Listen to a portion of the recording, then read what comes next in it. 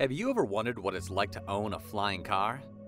Well, the future might just be bright for you, as the latest developments out of US based Jetoptera are bringing us one step closer to your sci fi fantasy being a reality. Jetoptera and their extended line of fluidic propulsion powered aircraft are revolutionizing the world of bladeless aviation options. Their technology is decades ahead of our current helicopter and aircraft designs, and many are buzzing about the opportunity to use this propulsion system in everything from drones, military spacecraft, and even personal transportation. Jetoptera still has a long way to go before they are ready for consumers, but that doesn't stop us from taking a closer look and dreaming of the future of flight and travel. To begin, we have to discuss the difference between an eVTOL, a VTOL, and a STOL, because the Jetoptera J2000 has an element of each of them going on. An eVTOL is an electric vertical takeoff and landing aircraft system, while a VTOL is also a vertical takeoff and landing aircraft, but without the added bonus of being environmentally friendly. Traditionally, an aircraft is usually one or the other. There are not a ton of hybrids in the aviation department community, but the Jetoptera J2000 is actually built to run on either a traditional gas-fueled system or an electricity-fueled system. This is for a very specific reason, according to the company. For now, they have optimized and suggested a gas-fueled system for the J2000.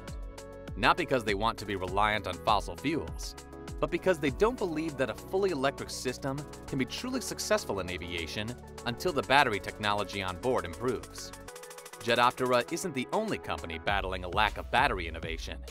Many electric and electric hybrid transportation companies have spoken out about the inefficiency of modern battery technology. This is fair, as, in comparison, the fully electric VTOL option, built by Joby Aviation's range is only 150 miles, while able to reach speeds up to 200 miles per hour, which is due to a lack of battery efficiency and storage capacity. Effectively, you could travel less than an hour before running out of power. This is why Jetoptera built the J2000 to be a VTOL, but left design features in place that will make a fully electric conversion a simple fix in the future when battery tech catches up to aviation innovation. So that explains the eVTOL and the VTOL. So what in the world is a STOL? A STOL is a short takeoff and landing aircraft. This differs from VTOL systems because while VTOL can take off from a stable position and rise straight into the air, a STOL can nearly achieve this but needs at least a short runway to achieve flight. The J2000 actually can accommodate both, with the STOL offering faster liftoff speeds. The Jetoptera J2000 features a bladeless, fluidic propulsion system that can accommodate VTOL and takeoff much like a traditional small aircraft. This brings us to what truly sets the Jetoptera J2000 apart from most other VTOL aircraft. Their innovative bladeless fluidic propulsion system might be a mouthful to say, but it is an even bigger mouthful to explain, so we'll try to make it easy on you. While you may have never seen an aircraft like the Jetoptera J2000, you might have encountered Dyson's line of bladeless fans and hair dryers. When you look at the J2000, you can't help but be drawn to the back wing that features the sort of oval-shaped thrusters, surrounded by a massive, rounded, rectangular frame. Now, imagine that the smaller thrusters are essentially two Dyson bladeless fans that have been placed on a frame that allows them to tilt to achieve thrust and takeoff. While we are not saying that two Dyson fans are the only thing that stands between you and a DIY plane. We are saying that the base propulsion system is remarkably similar. This airframe configuration is incredibly different from most VTOL and eVTOLs on the market. The J2000 does not have any rotors,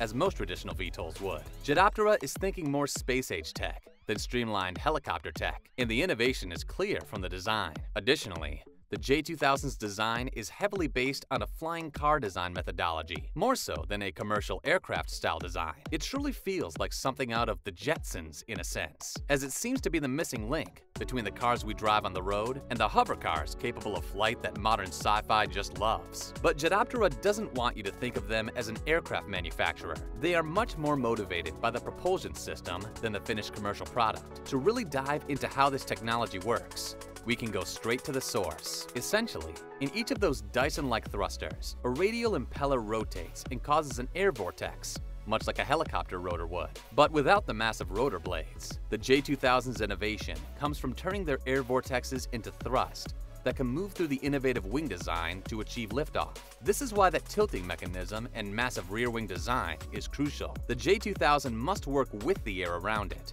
to be able to truly break free from gravity. This is why the CEO of Jetoptera has said that the tech in J2000 is extremely compact, can do VTOL, has a smaller footprint than a helicopter, and flies a lot safer. While the CEO, Andre Azoulay, believes that this technology will revolutionize the aerospace and transportation industries, he admits that the J2000 is not the best at everything. It's actually more of a novel design with new abilities. But regardless, that hasn't stopped government and military contractors from becoming excited by the prospects of aircraft that require little to no runway to achieve takeoff. In 2020, Jetoptera partnered with Honeywell Aerospace to begin to bring this technology to the defense industry. Since the aircraft is scalable to hold anywhere from 100 pounds to 6,000 pounds, there are implications of both unmanned aircraft flight as well as manned aircraft flight. The design also enables the Jetoptera J2000 aircraft to be able to fly at speeds from 60 knots up to 400 knots which allows a workable range of speed.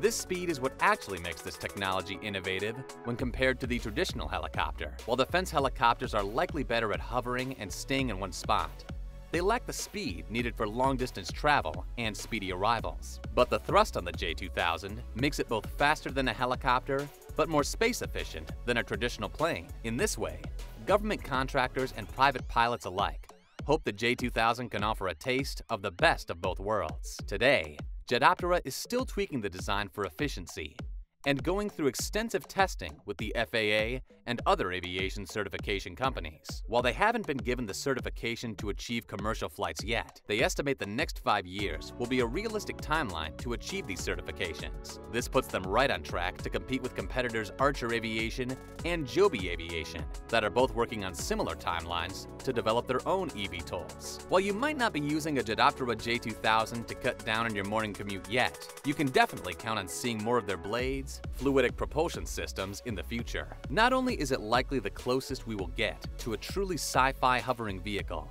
but they also offer a lot in terms of what the future of aviation will look like. When airports and air travel first became popular, it is actually a little known fact that many people hated airports, as they took up a ton of space, were loud, and were an eyesore on communities. With VTOL and eVTOL technology taking off, pun intended, we can expect to see less traditional airports with runways being built, and more of what is called a vertiport being built. A vertiport is similar to an airport, but is optimized for VTOL technology and takes up a much smaller footprint. On top of that, since the Jetoptera J2000 is bladeless, they are actually incredibly quiet compared to a traditional planar helicopter that relies on rotary blades to create thrust and achieve takeoff. All around, VTOLs and eVTOLs will likely dramatically shape the way we think about short-distance air travel. The next five years are shaping up to bring massive changes to the industry. So while Jetoptera and others are racing to get air clearance from the FAA and other licensing bodies, the aviation community is already beginning to adapt to the rapidly approaching future of air taxis, flying cars, and even private aircraft that no longer need to be stored at an airport due to space constraints. We don't yet know for certain if the Jetoptera tech will deliver on the massive changes they hope to enact in the aviation community. We do know that plenty of people are beginning to take notice and get excited by what the future may hold for us. Would you buy an affordable personal VTOL? Do you think that Dyson will release their own version of this technology? Still confused about how this all works? Comment down below and we can get to talking about the wonderful world of aviation and technology. But until next time, don't forget to like, subscribe, and share to stay up to date on the latest technology every week. Thank you.